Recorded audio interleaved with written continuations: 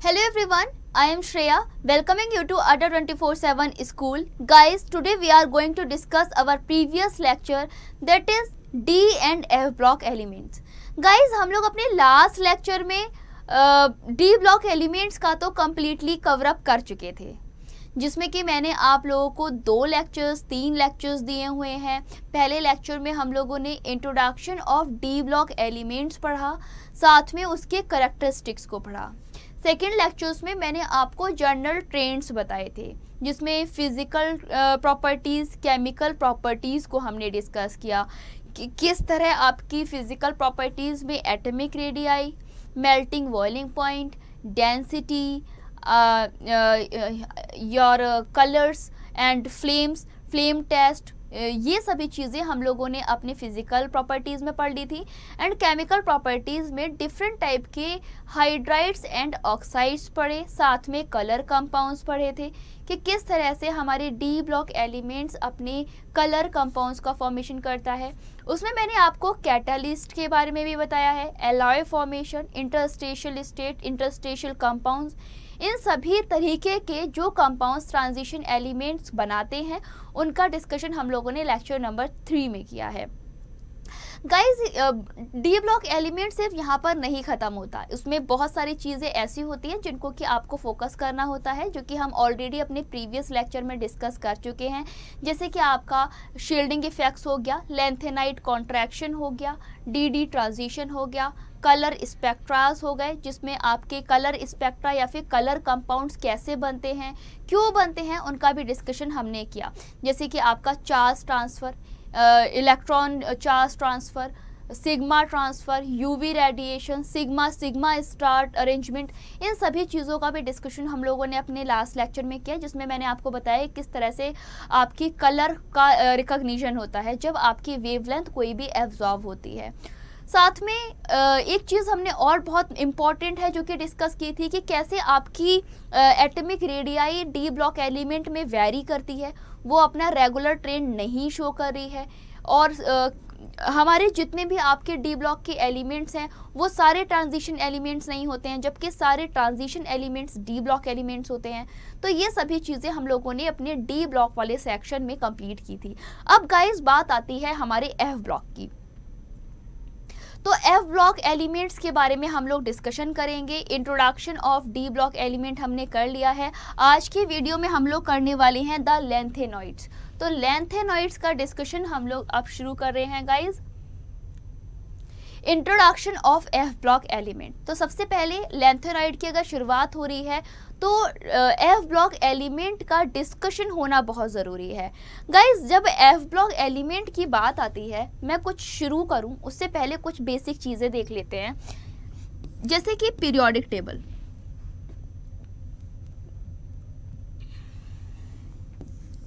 मैं एक block structure बनाऊँगी आपकी पीरियोडिक टेबल का।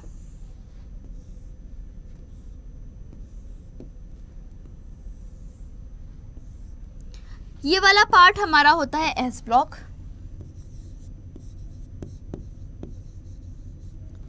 ये वाला पार्ट हमारा होता है डी ब्लॉक और राइट हैंड साइड का ये पार्ट होता है हमारा पी ब्लॉक गाइस ये जो डी ब्लॉक है, उसमें लेंथेनम और एक्टेनम होते हैं. यहाँ से आपकी दो सीरीज़ निकलती हैं. और इन सीरीज़ का हमारा नाम होता है एफ़ ब्लॉक एलिमेंट्स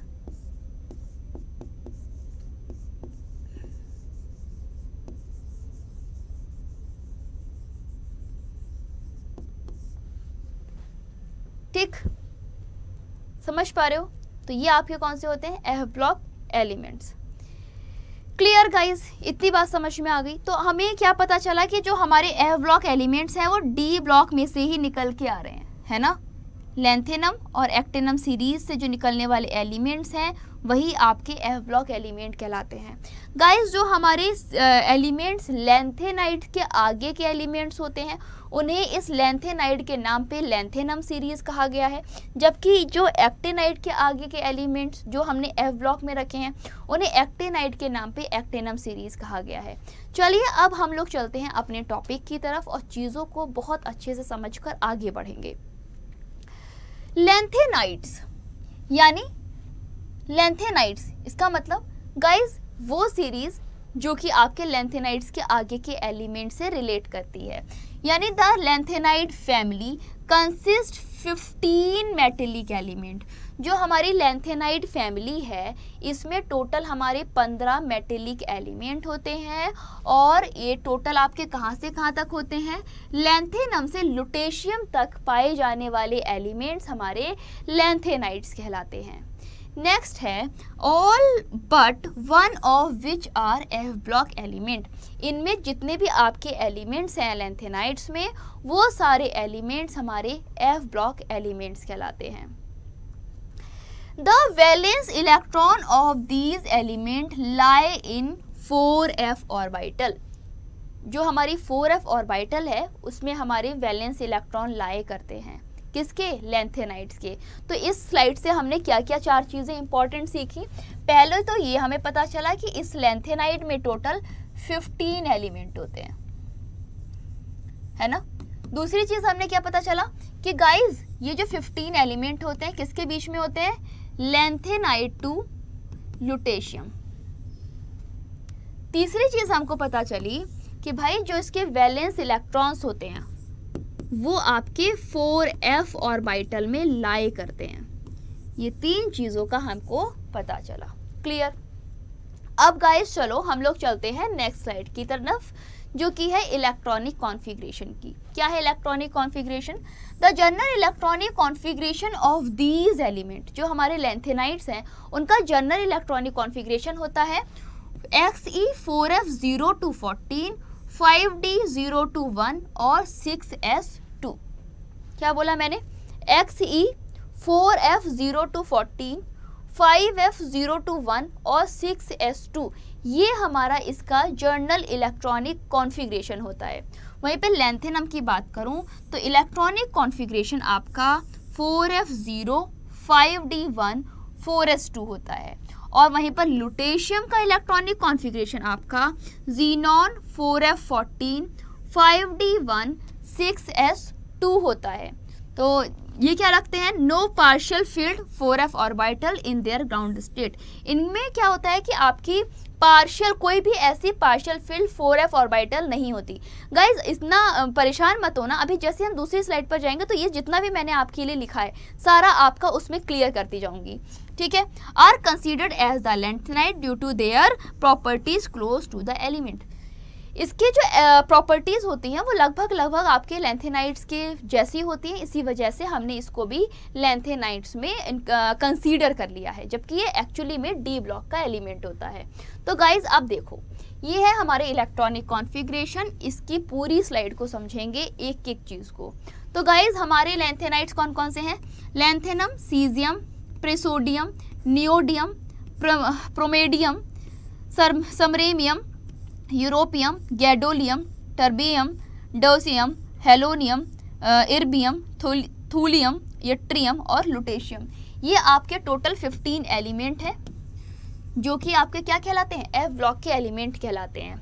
लेंथेनम को आप एलए से रिप्रेजेंट करते हो, सीर, सीरियम को आप सी ई से रिप्रेजेंट करते हो प्रिसोडियम को आप पी आर से रिप्रेजेंट करते हो, नियोडियम को आप एन डी से रिप्रेजेंट करते हो, प्रोमीथियम को आप पी एम से रिप्रेजेंट करते हो, समरे, समरेसियम को आप एस एम से रिप्रेजेंट करते हो, यूरोपियम को आप ई यू से, गैडोलियम को जी डी से, टर्बियम को टी बी से डिस्प्रोसियम को डी वाई से, हेलियम को एच ओ से, इर्बियम को ई आर से थूलियम को टीएम से, यट्रियम को वाईबी से और लुटेशियम को आप एलयू से रिप्रेजेंट करते हो। तो गाइज़ ये तो हो गए सिंपल अब चलो बात कर लेते हैं एटॉमिक नंबर की। तो एल का एटॉमिक नंबर है 57 तो इलेक्ट्रॉनिक कॉन्फ़िगरेशन आप कैसे लिखोगे? गाइज़ देखो इलेक्ट्रॉनिक कॉन्फ़िगरेशन लिखने के लिए सबसे पहले तो आपको ये देखना पड़ेगा कि हमारी इनर्ट गैस का कंप्लीट हो रहा है इलेक्ट्रॉनिक कॉन्फ़िगरेशन कि नहीं हो रहा। तो वो जीनॉन पे जाकर इनर्ट गैस का इलेक्ट्रॉनिक कॉन्फ़िगरेशन कंप्लीट हो जा रहा है।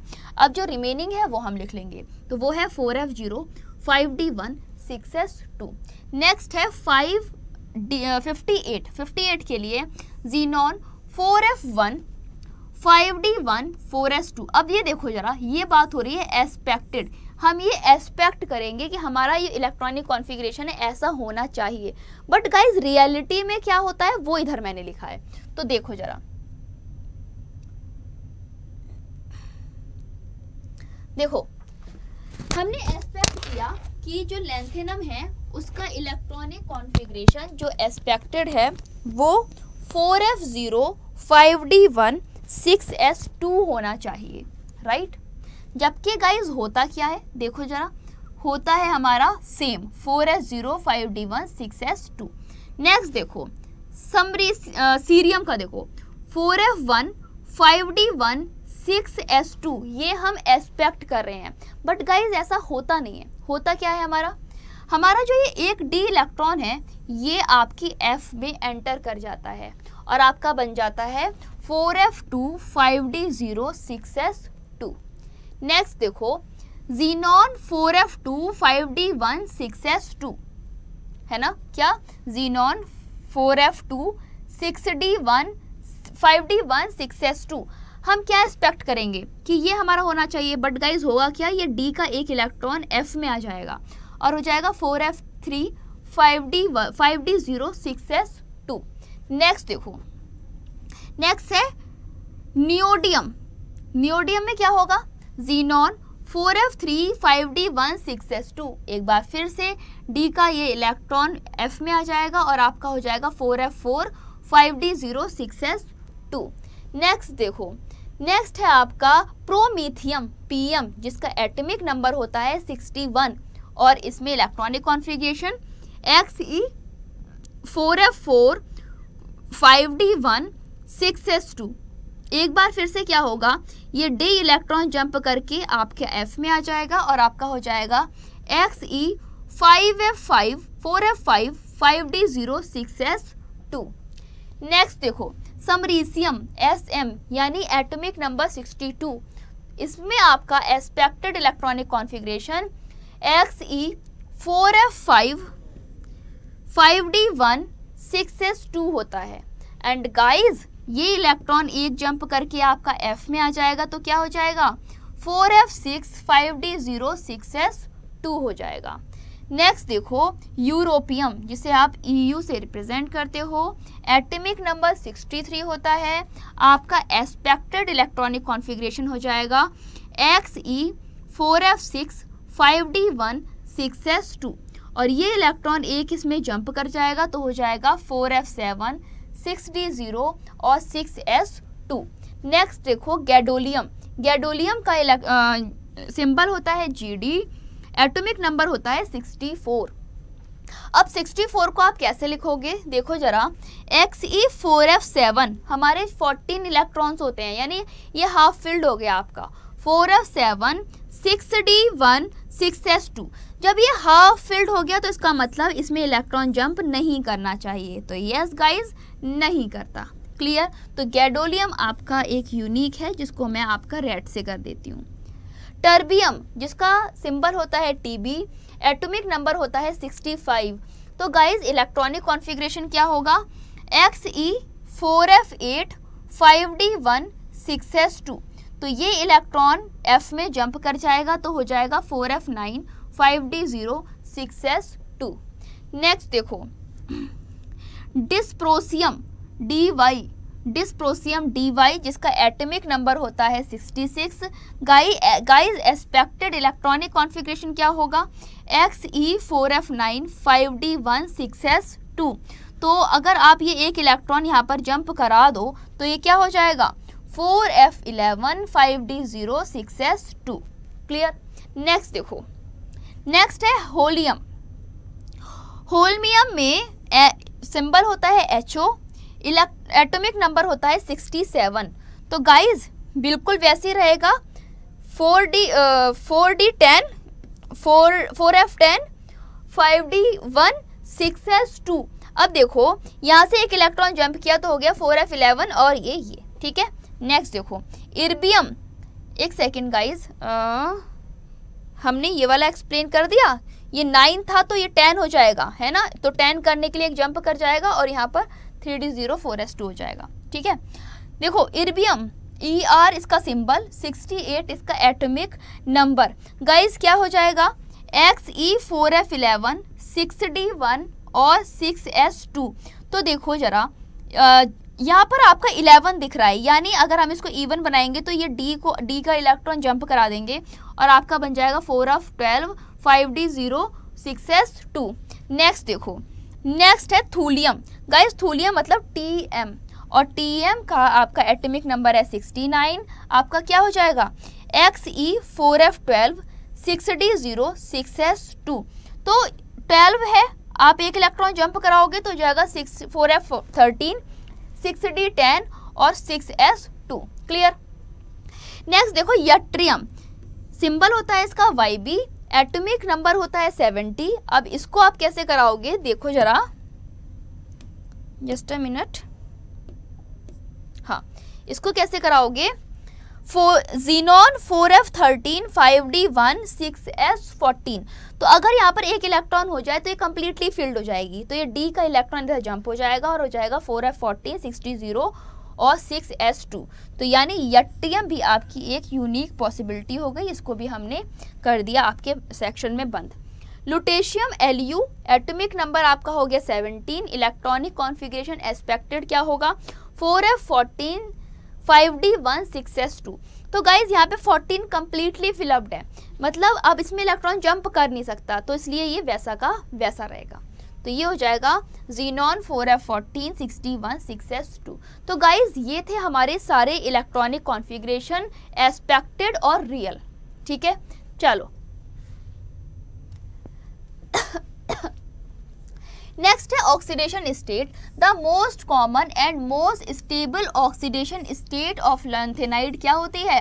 प्लस थ्री होती है। कुछ एलिमेंट क्या करते हैं? प्लस टू ऑक्सीडेशन स्टेट में और प्लस फोर ऑक्सीडेशन स्टेट में भी पाए जाते हैं which they leave behind stable ion कैसे? जैसे आपका ई यू प्लस टू क्या करता है? X E f seven four f seven दिखा रहा है। देखो, ऐसे वाई बी आयन देखो, क्या कर रहा है? फोर एफ़ फोर्टीन में दिखाई दे रहा है। ऐसे ही एक्जी प्लस फोर आप आयन देखो four f zero T B plus four four f seven तो ये सब क्या है? ये सब आपके स्टेबिलिटी गेन कर रहे हैं। Half filled full filled zero and half filled जब आपके कोई भी ऑर्बिट हाफ़ फ़ील्ड होती है या फिर कंप्लीटली फ़ील्ड होती है तो वो क्या करती है? स्टेबिलिटी को गेन करती है। नेक्स्ट पॉइंट नेक्स्ट देखो। गाइज़ नेक्स्ट है। In aqua solution of cerium plus four ion it is a good oxidizing agent जो हमारा एक्वा सॉल्यूशन में सीरियम आयन है, ये गुड ऑक्सीडाइजिंग एजेंट है और ई प्लस टू और साथ में वाई बी प्लस टू ये दोनों एक्वा सॉल्यूशन में पाए जाते हैं as a good reducing agent और इनकी एक्सेप्शंस क्या है? एक्सेप्शंस देख लेते हैं। Guys S M plus two ion आपका X E four f six electronic configuration दिखाता है। T M plus two four f thirteen दिखाता है, P R plus four four f one electronic configuration दिखाता है। मतलब ये हुआ कि जो हमारा सी ई प्लस फोर है, ये तो है आपका गुड ऑक्सीडाइजिंग एजेंट। एजेंट, ठीक है? जबकि आपका ई यू प्लस और साथ में वाई बी प्लस, ये दोनों आपके कैसे हैं? गुड रिड्यूसिंग एजेंट ठीक नेक्स्ट देखो। नेक्स्ट है important points in oxidation state तो गाइज़ ये बात तो हमने बता दी कि लेंथेनाइट सीरीज़ क्या शो करते हैं plus three oxidation state show करते हैं। और earlier it was believe that कुछ एलिमेंट जैसे कि आपका समरेसियम, यूरोपियम, यट्रियम, ये आपके प्लस टू ऑक्सीडेशन स्टेट को शो करते थे।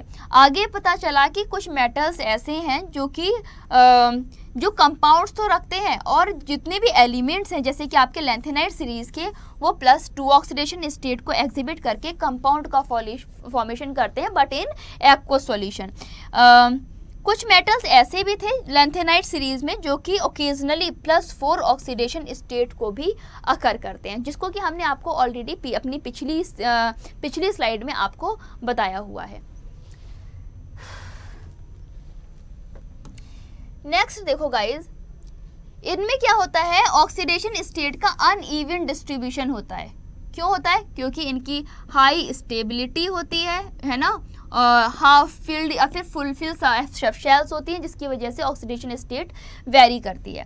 The stability of f subshell affect the oxidation state of lanthanide in such a way the plus four oxidation state of cerium is favoured as it a noble gas configuration but it क्रिवर्स to plus 3 oxidation state thus act as strong oxidation or even oxidize water through the reaction will be slow. Next. Guys अब आते हैं अपने point पर देखो, oxidation state में समझ में आ गया होगा क्या क्या चीज़ें थी पहली चीज़ तो ये थी कि ये normally plus three oxidation state को शो करते हैं और एब नॉर्मली ये अपनी टू और फोर ऑक्सीडेशन स्टेट को भी शो करते हैं नेक्स्ट देखो मैग्नेटिक प्रॉपर्टी का। तो metals are classified in their interaction with the magnetic property guys दो फ़ील्ड में इनकी मैग्नेटिक प्रॉपर्टी एक्सप्लेन होती है। पहली होती है डायामैग्नेटिक इफ़ दे रिपेल अगर ये रिपेल कर रहे हैं तो ये अपनी डायामैग्नेटिक प्रॉपर्टी को शो करते हैं। अगर ये अट्रैक्ट कर रहे हैं तो ये अपनी पैरामैग्नेटिक प्रॉपर्टी को शो करते हैं। Magnetic property have spin and orbit contribution जो आपकी मैग्नेटिक प्रॉपर्टी है, ये दो तरीके के कॉन्ट्रीब्यूशन रखती हैं। पहली स्पिन और दूसरी ऑर्बिट। इसलिए magnetic moment are given by the formula. Magnetic moment का फॉर्मूला क्या होता है?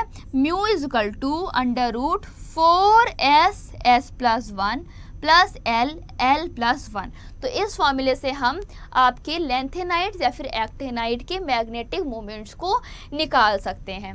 जहाँ पे एल क्या है? गाइस एल आपकी ऑर्बिटल क्वांटम नंबर है और जबकि आपका एस यहाँ पर स्पिन क्वांटम नंबर है। नेक्स्ट है guys all lanthanide ion with the expectation of lutetium plus three ion और लेंथेनम प्लस थ्री आयन और लुटेशियम प्लस थ्री आयन साथ में सीरियम प्लस फोर आयन ये आपके नेचर में पैरामैग्नेटिक होते हैं। तो मतलब कौन कौन से आपके पैरामैग्नेटिक पता चले हमको यहाँ पर? पैरामैग्नेटिक आपके दो होते हैं। कौन कौन से? पहला है आपका lanthanum plus three lutetium plus three और सीरियम प्लस थ्री ये तीन आपके ऐसे आयन हैं जो कि आपके मैग्नेटिक प्रॉपर्टी में होते हैं और पैरामैग्नेटिक होते हैं। बाकी आप चाहो तो यहाँ से इस फॉर्मूले का यूज़ करके भी आप मैग्नेटिक प्रॉपर्टी को निकाल सकते हैं। क्या फॉर्मूला है? Under root four S S plus one L L plus one next देखो। गाइस नेक्स्ट है why lanthanide show variable oxidation state हमारे जो लेंथेनाइट्स हैं, मैंने आपको बताया कि कॉमन ऑक्सीडेशन स्टेट तो प्लस थ्री शो करते हैं but variable oxidation state two और फोर भी शो करते हैं। क्यों करते हैं? इसका कारण देखो। Lanthanide shows variable oxidation state कौन कौन सी? टू थ्री और फोर ऑक्सीडेशन स्टेट को शो करते हैं। जबकि इनकी सबसे ज़्यादा स्टेबल ऑक्सीडेशन स्टेट कौन सी होती है? प्लस थ्री होती है। और अगर अनदर स्टेट की बात करें तो गाइज़ ये लूज करके इलेक्ट्रॉन को या फिर गेन करके इलेक्ट्रॉन को प्लस थ्री ऑक्सीडेशन स्टेट को एग्जिबिट करते हैं। Clear by that those ion become strong reducing और ऑक्सीडाइजिंग एजेंट रेस्पेक्टिवली तो इसकी वजह से ये दो आयंस हैं, ये या तो रिड्यूसिंग हो जाते हैं या फिर ऑक्सीडाइजिंग एजेंट की तरह अपना बिहेव शो करते हैं।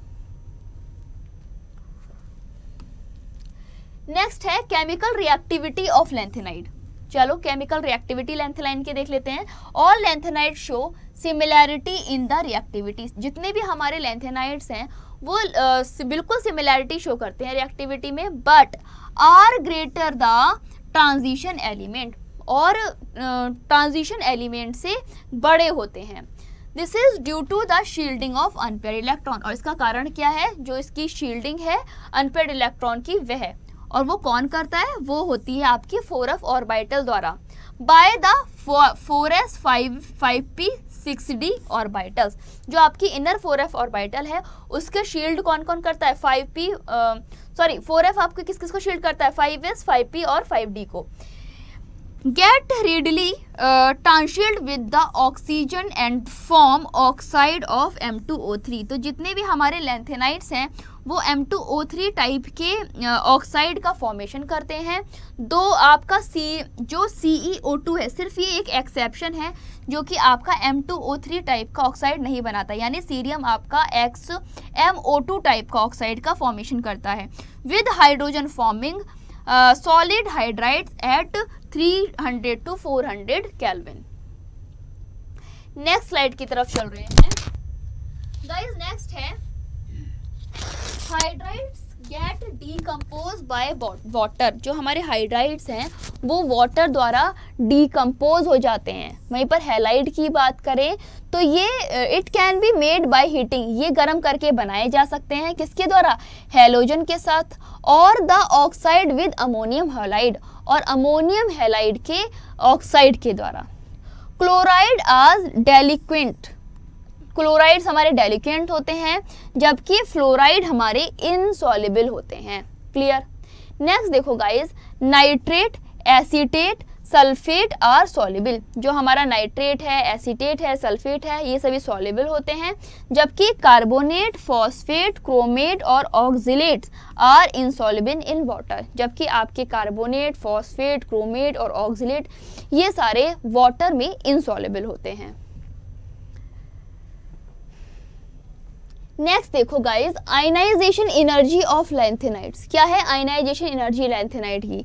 The ionisation energy is the energy to needed to remove the valence electron from the atom जो हमारी आयनाइजेशन एनर्जी है, वो क्या है? अगर किसे बोलते हैं आयनाइजेशन एनर्जी सिंपल वे में समझो तो। वैलेंस इलेक्ट्रॉन से अगर आपको कोई इलेक्ट्रॉन निकालना है तो उसके लिए जो आपकी रिक्वायर्ड एनर्जी होती है, उसे हम बोलते हैं आयनाइजेशन एनर्जी ठीक है? और आयनाइजेशन एनर्जी डायरेक्टली किससे रिलेट कर रही है? Force of attraction of electron से। Clear hence larger the nuclear charge जैसे जैसे ज़्यादा आपका न्यूक्लियर चार्ज होता जाएगा, वैसे वैसे स्मॉल होती जाएगी आपकी रेडियाई ठीक है ना? इलेक्ट्रॉन्स की radii larger will be the ionisation energy और जैसे जैसे आपका रेडियाई स्मॉल होती जाएगी, आपका आयनाइजेशन एनर्जी ज़्यादा होती जाएगी। क्यों? Also the ionisation energy will more half filled and fully filled आपकी हाफ़ फ़ील्ड के लिए और फुली फ़ील्ड के लिए आयनाइजेशन एनर्जी बहुत ज़्यादा होती है। अगर बात करें लेंथेनाइट्स में आयनाइजेशन एनर्जी की तो वो बड़ी होती हैं। किससे? एस ब्लॉक एलिमेंट से और छोटी होती हैं डी ब्लॉक एलिमेंट से। क्यों? Between which they are place क्योंकि उनके बीच में वो रखे गए हैं। नेक्स्ट देखो डेंसिटी गाइस डेंसिटी की शुरुआत हम कहाँ से करते हैं? D equal to M over V से. ठीक है ना? तो density being the ratio of mass of substance and its volume mass of substance and mass of substance and its volume ठीक है? Density of D block element will be more than S block हमारी जो D block की density थी वो तो S uh, block से बड़ी थी. Among inner transition series it tend density will reverse of atomic radii मतलब ये हुआ कि अगर आपकी डेंसिटी बढ़ेगी तो आपकी एटॉमिक रेडियाई कम होगी, ठीक है? दे हैव हाई डेंसिटी ये क्या करते हैं? हाई डेंसिटी रखते हैं किसके बीच में? 6.7 से 9.7 ग्राम सेंटीमीटर क्यूब इनवर्स तक, ठीक है? It increases with increase atomic number और ये बढ़ती जाती है जैसे जैसे आपका एटॉमिक नंबर बढ़ता जाता है। नेक्स्ट है गाइस लेंथेनाइट का boiling point and melting point they have fairly high boiling and melting point but no definite trend in the melting point and boiling point guys lanthanides की जो melting point होता है जो boiling point होता है दोनों ज़्यादा तो होता है बट उसका कोई करेक्ट ट्रेंड नहीं है। समझ पा रहे हो आप? तो इसीलिए हमने लिखा है they have fairly high melting point but कोई इसका डेफिनेट uh, ट्रेंड नहीं है। नेक्स्ट है formation of coloured ion lanthanide ion can have electron in f orbital so empty orbital like d element when a frequency of light is observed जब एक light की frequency observe होती है the light transmit exhibit colour complementary to the frequency observe ठीक next देखो inner transition element can absorb frequently visible region to use f f transition and produce visible colour guys इस चीज़ को बहुत simple language में समझते हैं। जैसे आपकी दो, एक है ग्राउंड स्टेट और एक है आपका एक्साइटेड स्टेट तो ग्राउंड स्टेट से जब इलेक्ट्रॉन एक्साइटेड स्टेट में जाएगा तो एनर्जी को एब्जॉर्ब करेगा। और जब वो एक्साइटेड स्टेट से ग्राउंड स्टेट में आएगा तो एनर्जी को इमिट करेगा। क्लियर एब्जॉर्ब और इमिट अब सुनो, जब ये एनर्जी को एब्जॉर्ब करेगा तो जिस वेवलेंथ को वो एब्जॉर्ब करेगा, उसके कॉम्प्लीमेंट्री कलर की वेवलेंथ को वो इबिट करेगा. तो वही कलर हमको दिखाई देगा, जिसके लिए आप व्हील कलर व्हील का भी हेल्प ले सकते हो. ठीक है? तो यही चीज़ मैंने इसमें आपको लिखी हुई है. नेक्स्ट है many of the lanthanide are silver white बहुत सारे ऐसे लेंथेनाइड्स हैं जो कि आपके सिल्वर वाइट हैं। Lanthanide ion with plus three oxidation state वो लेंथेनाइड जिनकी ऑक्सीडेशन स्टेट प्लस थ्री होती है, वो कलर्ड होते हैं। किसमें? बोथ में। किसमें? सॉलिड स्टेट में भी और एक्वस स्टेट में भी। ठीक है? Colour of cation depend on the number of unpaired electron जो कैटाइन का कलर है, वो किस पर डिपेंड कर रहा है? नंबर ऑफ़ अनपेड इलेक्ट्रॉन पे with X f electron have same coloured as electron as of electron of element देखो, जिनके इलेक्ट्रॉन सेम है अनपेड इलेक्ट्रॉन सेम होंगे, उनका कलर भी सेम होगा। सिंपल वे में बोले तो जिनके जिनके ऑर्बिटल्स में same number of unpaired electron होंगे, उनका कलर भी सेम होगा। नेक्स्ट है यूजेस ऑफ़ लेंथेनाइड क्या क्या यूजेस है लेंथेनाइड के? पहला है मेट्रोलॉजिकल एप्लीकेशंस मेट्रोलॉजी में इसका यूज़ किया जाता है। Some of the alloy of lanthanide element find important metallurgical application as reducing agent ये जितने भी आपके लेंथेनाइड है, उसमें से कुछ ऐसे भी एलिमेंट हैं जो कि मेटलर्जी एप्लीकेशन में as a reducing agent use किए जाते हैं। जैसे कि हमारा मिश एलिमेंट या फिर मिश मेटल नेक्स्ट है सैरमिक एप्लीकेशन सैरमिक एप्लीकेशन जैसे C plus three oxidation state में और प्लस फोर ऑक्सीडेशन स्टेट में इनके ऑक्साइड ग्लास को पॉलिश पाउडर्स करने में या फिर पॉलिशिंग करने में यूज़ किए जाते हैं. एनडी और P R oxide are expensively use in colouring glass right in the production of standard light filtered next देखो catalytic application what is the catalytic application some some lanthanide compounds are use as catalyst कुछ आपके lanthanide compounds catalyst की तरह use किए जाते हैं. For example cerium phosphate is use in petroleum cracking as a catalyst कि आपका जो सीरियम फॉस्फेट है, वो पेट पेट्रोलियम की तरह यूज़ किया जाता है, जैसे कैटिंग एज अ कैटलिस्ट ऐसे इलेक्ट्रॉनिक एप्लीकेंट्स में भी इसको यूज़ किया जाता है. जैसे ferromagnetic garnets of L N two O three point F E two O three type are use in microwave device इस टाइप के जो आपके फेरोमैग्नेटिक गैजेट्स हैं, वो आपके माइक्रोवेव डिवाइस में यूज़ किए जाते हैं। गाइस न्यूक्लियर एप्लीकेशन में भी इसका यूज़ किया जाता है। कैसे यूज़ किया जाता है? Use as in nuclear control device shielding device और fluxing device S M one forty E U one fifty three G D one fifty five G D one fifty seven D Y one sixty four some of important isotopes are in use nuclear technology ये आपके कुछ ऐसे isotopes हैं जो कि nuclear technology में use किए जाते हैं। लेंथेनॉइड्स के ऑक्साइड्स की अगर बात करें तो गाइज़ ये आपके फॉस्फोर्स में बहुत यूज़फुल होते हैं इन फ्लोरेसेंट मटीरियल वहीं पे आपके ceramic sulphate is a good analytical oxidising agent जो आपके सैरमिक सल्फेट होते हैं, वो एक गुड बहुत अच्छे एनालिटिकल ऑक्सीडाइज्ड एजेंट भी होते हैं। तो गाइज़ ये था हमारा टॉपिक जिसमें हमने पूरे लेंथेनाइड को डिस्कस किया, जिसमें मैंने आपको पीरियोडिक टेबल में लेंथेनाइट की पोजीशन को, साथ में उनके जर्नल ट्रेंड्स को फ़िज़िकल केमिकल प्रॉपर्टीज़ को ऑक्सीडेशन स्टेट को और कलर्स को भी बताया। तो गाइज़ अभी के लिए बस इतना ही। नेक्स्ट लेक्चर में हम पढ़ेंगे एक्टेनाइड्स तो अभी के लिए थैंक्स फॉर वॉचिंग